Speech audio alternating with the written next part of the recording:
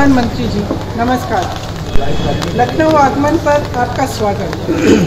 कल आपने तीन काले कृषि कानूनों को किसानों पर थोपने के अत्याचार को स्वीकार करते हुए उन्हें वापस लेने की घोषणा की। मैंने अखबारों में पढ़ा है कि आज आप लखनऊ में होने वाली डीजीपी कॉन्फ्रेंस में देश की कानून व्यवस्था संभालने वाले आला अधिकारियों से चर्चा करेंगे। लखीमपुर किसान नरसंहार में अन्नदाताओं के साथ हुई क्रूरता को पूरे देश ने देखा। आपको ये जानकारी भी है कि किसानों को अपनी गाड़ी से कुचलने का मुख्य आरोपी आपकी सरकार के केंद्रीय गृह राज्य मंत्री का बेटा राज्य जिम्मेदार गृह मंत्री श्री अमित शाह जी एवं उत्तर प्रदेश के मुख्यमंत्री श्री योगी आदित्यनाथ जी आपके उसी मंत्री के साथ मंच साझा करते हैं।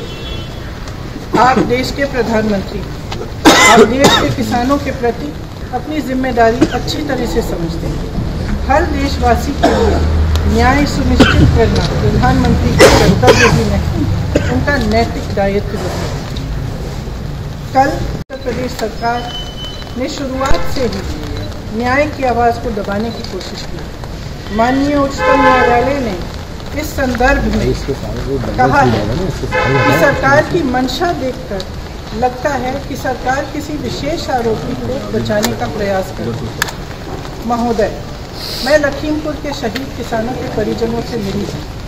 वे असहनीय पीड़ा में सभी परिवारों का कहना है कि वे सिर्फ़ अपने शहीद परिजनों के लिए न्याय चाहते हैं। और केंद्रीय गृह राज्य मंत्री के पद पर बने रहते वे उन्हें न्याय की कोई आस नहीं लखीमपुर किसान नरसिंहार मामले में जान की हालिया स्थिति उन परिवारों की आशंका को सही साबित है